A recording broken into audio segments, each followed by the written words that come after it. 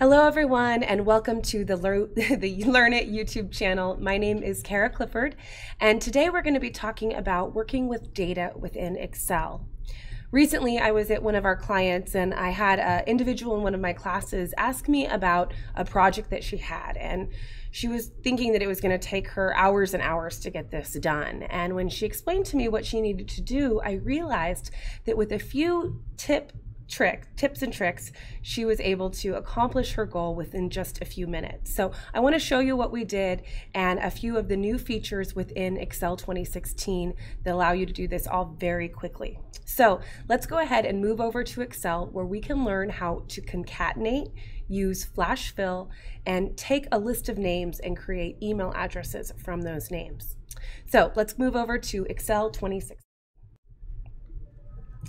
Here I have a list of names, um, one column of names showing me the last name and another column of first names. And I've got about uh, 214 names here in my list. I wanted to first show you how we can concatenate these names together. For example, I may want to have the first name and the last name in the same cell. Now there's multiple ways to do this, but I'm going to go ahead and start out with typing in my new column header, and I'm going to just call this full name. Now the concatenate function always begins with an equal sign, and then the name of the function, concat innate, and then the open parentheses. Now, what the concatenate function does is it joins text strings together. So I'm going to go ahead and rather than having to manually put the text strings in with the commas and the quotes, I'm going to simply select the Insert Function button just to the left of the formula bar. And what this does is it opens up a window where I can tell Excel exactly where I want to combine the information or how I want to combine that information. For example, the first bit of text I want is the first name followed by a space. Now I actually put a space and when I click down into text three, you'll notice that the space was placed into double quotes. So it put quotes around my space. And now all I have to do is select the last name column. And here I can see that Hazel is what's going to display within that cell. So in other words, I'm combining what's in column B with what's in column A and I'm placing a space in between. Now, the good news is, is I don't have to recreate that formula for every one of the names, the 214 names in my list. All I have to do is go to the bottom right corner of that selection and double click. And when I double click, you'll notice that it copied the structure of my formula, but it left any cell references relative. In other words, that as the formula adjusted down a row, so did the cell references. So now that quickly I was able to create a first and last name column without having to make any extra effort. Now, that's one way to do it using the concatenate function. And there's another, and I'm going to show you another way to do the same thing. This time, I'm going to use the ampersand. I'm going to start with an equal sign. I'm going to select the first name. I'm going to put in the ampersand, a space in quotes, the ampersand again, and the last name. And this way I get the same exact results. The difference here though is I don't have that function argument window. So I'm not able to open up the formula for this and see how it's being joined together. But you can see there's two different ways to concatenate or join text strings together. Now, sometimes we want to do the reverse of that. We have a column of names and we want to separate that into two separate columns. Sometimes we need to have, uh, in fact, we always recommend to keep your columns separated as much as possible. That way you can analyze the data at a deeper level.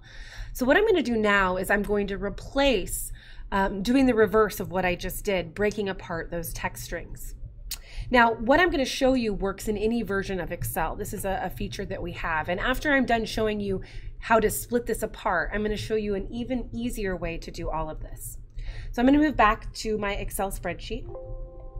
And here I'm going to take all of the information in this column and I'm going to copy it and I'm going to paste the values right on top. And in doing that, I simply replaced my ampersand with the actual value. So now you can see the name is what is actually in the cell. Now, to use the concatenate function, I'm going to first select all of the text, uh, excuse me, the text to column function. I'm going to select all of the information in this column. And I did that by clicking the first cell and then using the control key, the shift key, and pressing the down arrow. So it highlighted all 214 values. I'm then going to go to the data tab of the ribbon. And from the data tab of the ribbon, I'm going to choose text to columns. Here, I'll go be brought through a wizard where it'll take me step by step on how to delimitate this information. In other words, right now, characters such as a comma or tab, or in our case, a space, is what separates the different fields. I'm going to choose Next, and you'll notice that it still has all of my information put together. But if I replace the tab with a space, immediately it knows to separate all of that information into a new column. When I get to the final stage, I'm going to leave it at General and say Finish and now I've successfully broken apart my text string and I can change this to first name and this to last name. So as you can see, that easy, I was able to split apart the text. Now, in newer versions of Excel, the program has just gotten so smart and it will recognize patterns in what we're doing. We just saw how to put together information using the concatenate or ampersand.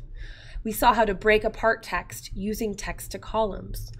What I'm going to do now is I'm going to use a new feature to Excel called Flash Fill. And here we'll be able to see how we can do a lot more than simply break apart or join together text.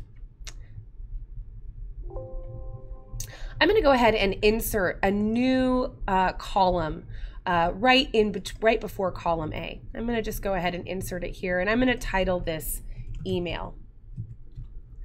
Let's say that my company uses first name dot last name at learnit.com. What I want to do is I want to create that email address with my employees here.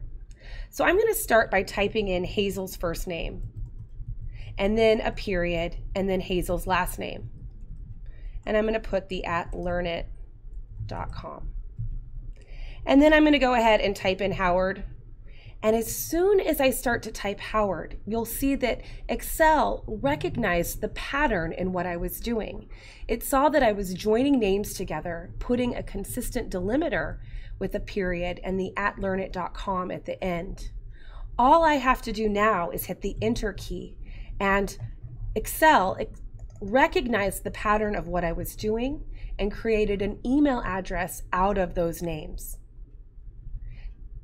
Now, I don't know about you guys, but that's pretty cool to me. Pretty amazing how Excel was able to anticipate that I wanted to join those strings of text together. It also added the period and the at learnit.com. So this was a really, I think, really amazing new feature that Microsoft gave us. This is available in Excel 2013 and 2016, and um, it does help if you put the text in a same order and you don't click all over as you're um, using the flash fill.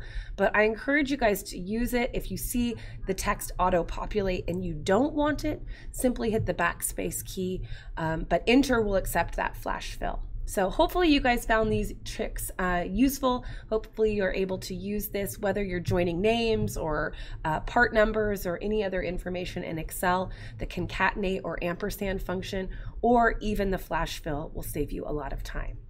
So thank you guys so much for joining our YouTube channel. I encourage you all to subscribe for more useful videos, tips, and tricks. Check out our website for lists of classes that cover these topics and a lot more. So thank you so much for joining and have a great day.